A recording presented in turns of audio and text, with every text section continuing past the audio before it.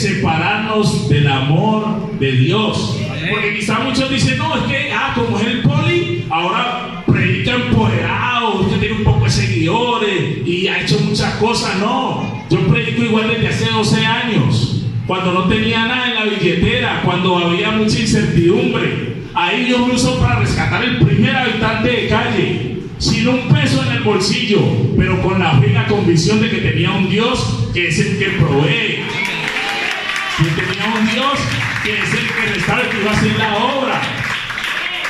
Porque dar un mensaje así es muy bacano cuando uno está bien, ¿sí o no? Pero cuando el rancho está ardiendo, ¿qué? Porque es la palabra, porque no soy yo, yo no le estoy mintiendo, yo estoy diciéndole lo que afirma la palabra, pero como la palabra es cortante y de doble filo a medida que yo le predico, me está ministrando a mí también. Y eso yo lo empiezo a creer, la palabra que yo le lanzo a usted. Yo muchas veces iba y predicaba al grupo de paz y salía y, y me quedaba varado por gasolina.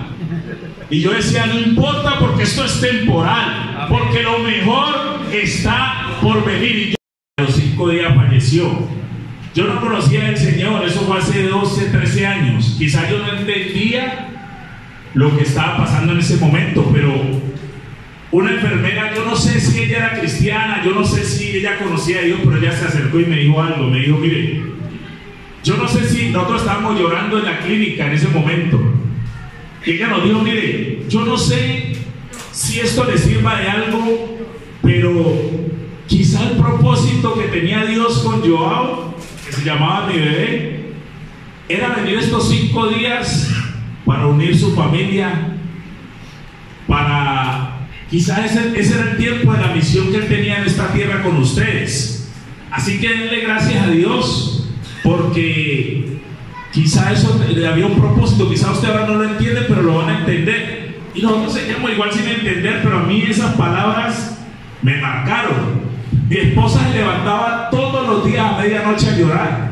Decía que Dios era injusto no conocíamos de Dios, obviamente. Y en ese proceso, después de cuatro años, volvimos con el propósito de tener hijos y mi esposa volvió a quedar en embarazo y a los cinco meses perdió el bebé, un embarazo anembrionario. Se, se estaban los bebés por fuera de, de, de la bolsa y no, obviamente no lograban sobrevivir. Pasó el segundo, pasó el tercero y cuando mi esposa perdió el tercer bebé, ella tenía que hacerle legrados. ¿Alguien aquí alguna vez una dama le ha tenido que hacer un legrado? Ella siente como si le arrancaran una parte de ellas. Tuvieran que sacarles una parte de ellas y las mujeres que son un poco más sensibles quizás.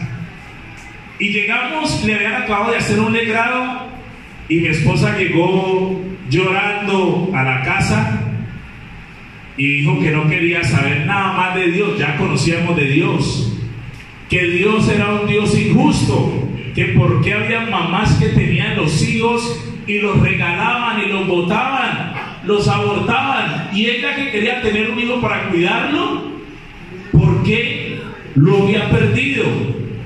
Entonces yo recuerdo que yo llegué, mi esposa estaba destruida, y yo coloqué una, una alabanza que se llama Él nos ama. ¿Cuánto lo han escuchado?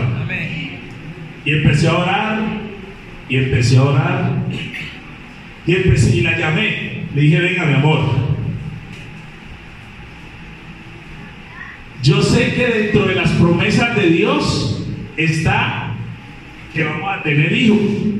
Pero si Dios decidiera que no nos va a dar hijos, igual le vamos a amar, igual le vamos a servir, porque no amamos a Dios por lo que Él nos da, sino por lo que Él es. Amén. Quizá hoy usted no entiende lo que está pasando, pero un día lo va a entender.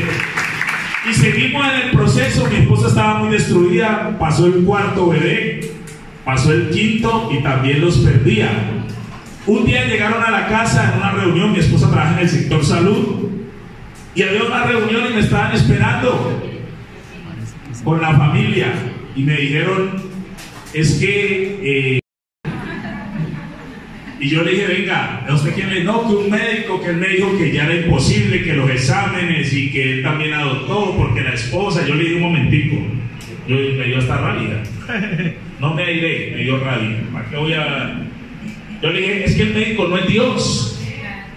Y a mí Dios no me ha dicho lo contrario. Y mientras Dios no me diga lo contrario, yo sigo creyendo y yo sigo perseverando. Y para resumirles, gloria a Dios, llegó Gabriela, la sexta. Y así fue. Y en este proceso Dios nos ha usado para ir a orar por familias que han perdido sus bebés. Porque hay mucha esperanza por una persona que diga, no, es que perdí un bebé y, estoy destruida y quizá siento que se me está acabando la vida y no quiero seguir. Yo le digo, tranquila hermana, que hay esperanza. Nosotros perdimos cinco. Pero usted ya dice, pero vení, ¿cómo hace? Ustedes perdieron cinco y siguieron sirviéndole a Dios y siguieron creyéndole a Dios y...